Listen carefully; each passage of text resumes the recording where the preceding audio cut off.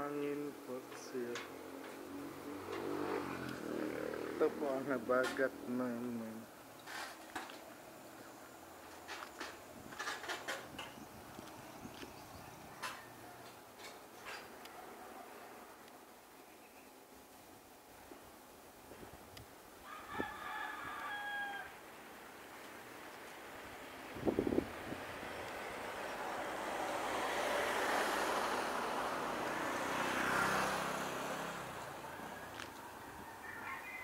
Medyo may malakas pa dyan. So ngayon mahina.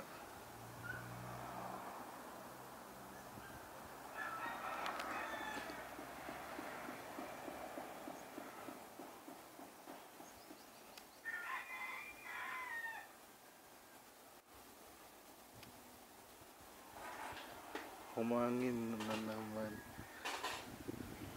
Ayan po.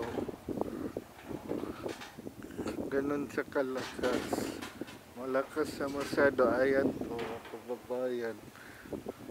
Malakas yung habagat.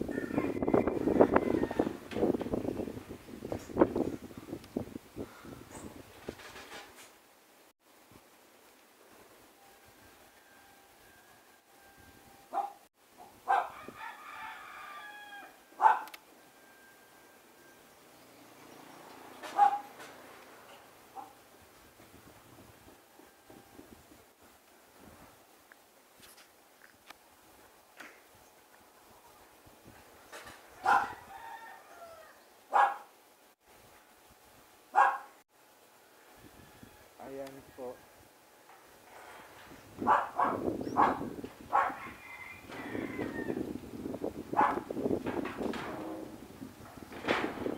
Ayan po, ganun sa ganun po sa kalakas ng kababayan.